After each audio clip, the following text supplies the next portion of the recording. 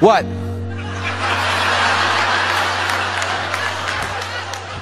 Oh, you all think smoking kills? Let me tell you something. Do you know that the amount of people dying from diabetes are three times as many people dying from smoking? Yet if I pulled a Snicker bar, nobody would say anything.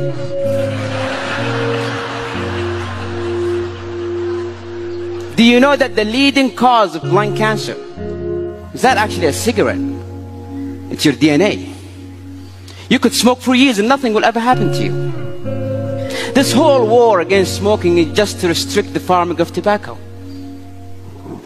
Mr. Contest Chair, fellow Toastmasters and guests, I use these arguments, even though I just made them up,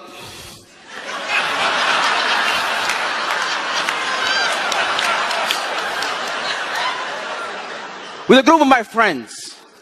And the results? Five of them believed what I said. Two of them started smoking. Words, when said and articulated in the right way, can change someone's mind. They can alter someone's belief. You have the power to bring someone from the slums of life and make a successful person out of them. Or destroy someone's happiness using only your words.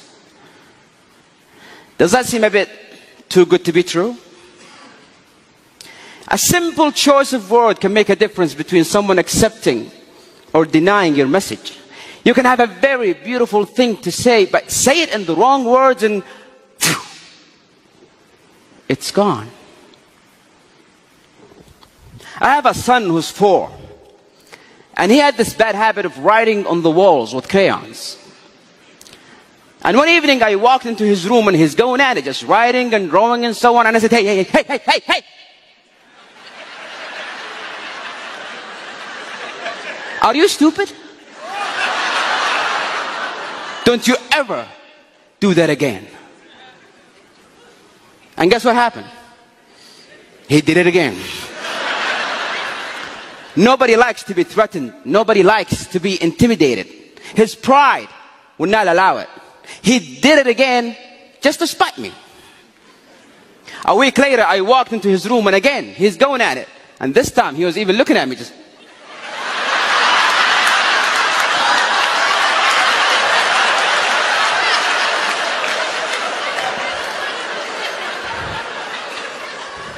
I came down and said, sweetie, come here. Don't do that. You're a big boy now. And he never did it again. Because his pride wants him to be the big boy. Have you ever wondered why nobody cares about global warming, even though it's a very serious issue? It could kill all of us. Because when you go home and you flip on the TV and you see a scientist trying to talk about global warming, it goes something like this.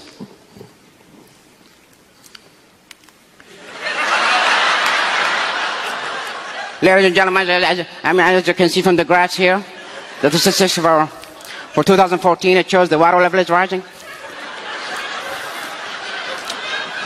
This, uh, this table shows that the monodioxide level on the third ozone layer is in a very alarming position.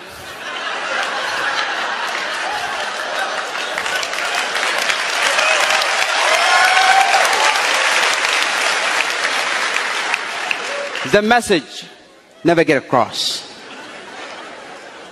But most importantly, if you are a person who's a role model, if you're a person who's been admired, anything you say could be believed. Anything you utter could be taken as truth. My friend Nasser, he loved his father, idealized his father. He would do anything to make him happy. But his father was the kind of person who's not easy to impress. And year after year, Nasser tried, and his father was like, yeah. First year in college, Nasser got straight A's. And he thought to himself, this is it. This what will finally make my dad proud. He picked up the phone. He called his dad. Dad, I got straight A's. Are you proud? Please tell me you're proud, Father. Yeah, listen, son, I'll have to call you back. I'm busy. I'm busy was the single sentence that broke the camel's back. And he started drinking, doing drugs, hanging out with the wrong crowd. Nasser, why? Why are you throwing your life away? If the one person in the world that I care about the most doesn't care, then, then why should I? And one evening I got the phone call. Nasser's in the emergency room. Drug overdose. I rushed to that hospital. I saw him on that bed.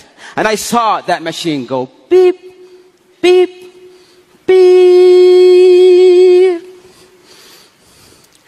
And I saw doctors try to bring him back to life. Clear! Clear! Clear! It's clear that a single word could have saved this life.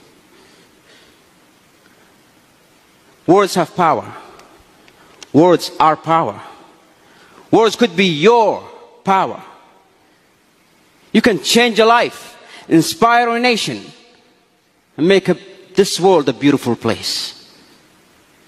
Isn't that what we all wanted? Isn't that what we are all in this hall? Your mouth can spit venom, or it can mend a broken soul. Ladies and gentlemen, let that be our goal.